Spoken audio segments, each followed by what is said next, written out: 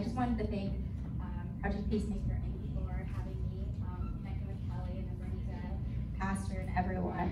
Um, I'm a brand new independent artist, and as Bernita said, I just released a album today, Redemption, and it's a nine nine song album that's kind of about my life and um, traumas, hardships, triumphs that I've been through. And the one area that is of interest to me and um, that's personal to me is domestic also women empowerment. So um, I was very excited to connect with Kelie um, because a big part of my artistry too is um, I love to volunteer and give back to the community and connecting with great organizations that are doing great work in the community, um, like Project Peacemaker um, Inc. Uh, really um, helps me as an artist to feel like I'm giving back to the community too through,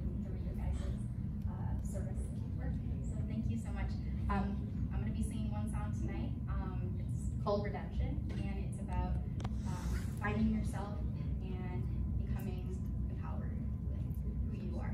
So. There we go. Yep. This is something that you need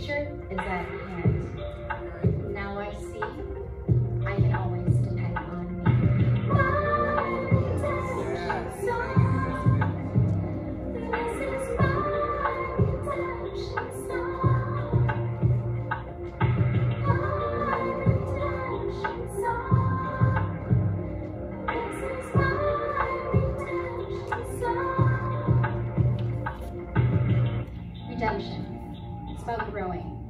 About new chapters. Domestic violence can be a part of your life, but it doesn't define who you are. You have the ability to grow, and it can make you better. That's redemption. I hope all of you find your redemption in your life.